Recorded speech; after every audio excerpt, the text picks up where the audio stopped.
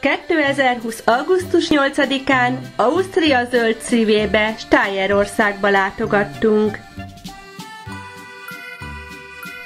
A tökmagolajáról, szőlőjéről és almájáról híres tartományt Ausztria gyümölcsös kertjének is nevezik. Magas hegyek között alpesi legelőkkel tarkított tájon haladtunk, első állomásunk Ausztria legnagyobb cseppkőbarlangja, Lurgrotte felé.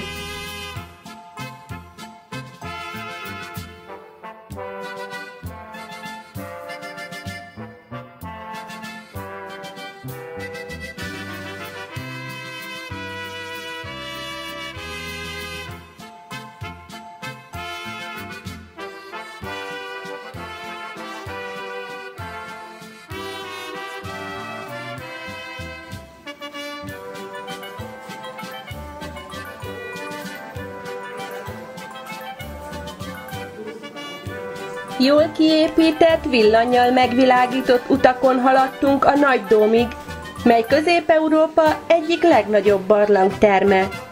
Itt csodálatos fény és hangjátékban volt részünk.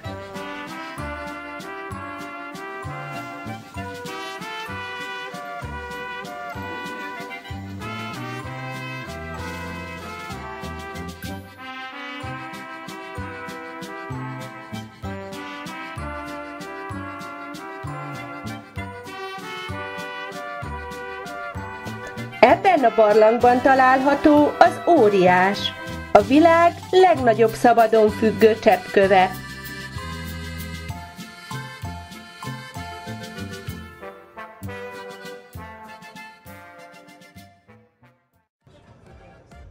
Mai kirándulásunk második állomása Stübing Szabadtéri Múzeuma volt, mely Ausztria legnagyobb skanzenje.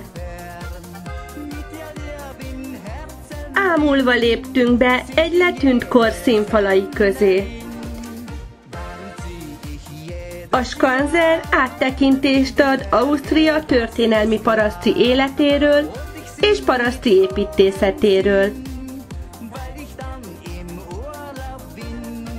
Egész Ausztria területéről mintegy száz eredeti, illetve történelmi paraszti épületet telepítettek át, gondosan, harmonikus természeti környezetbe. A házakat szeretettel rendezték be, virágokkal díszítették, és tarka kertek, hullámzó mezők és legelő állatok veszik körül.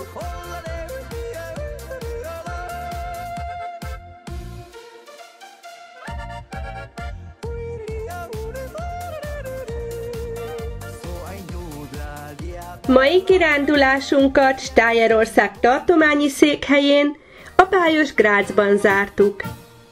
Itt szokásunkhoz híven második Ferdinánd mauzóleumának lépcsőjén csoportképet is készítettünk. Együtt felsétáltunk a 123 méter magas Schlossbergre, ahol Grác középkori erődje és az óratorony is megtalálható.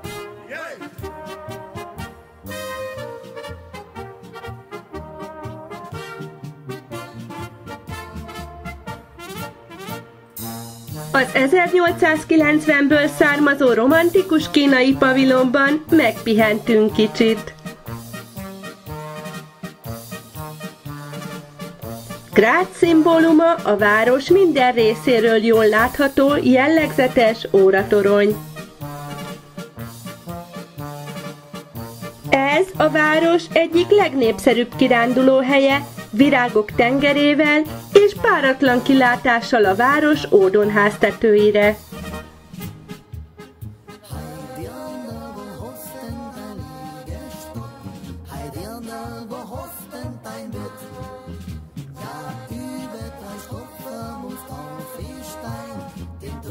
Majd a hegy oldalában kanyargó lépcsősoron ismét visszatértünk Grác óvárosába, ahol a főtéren megkóstoltuk a híres sajtos krajnai kolbászt.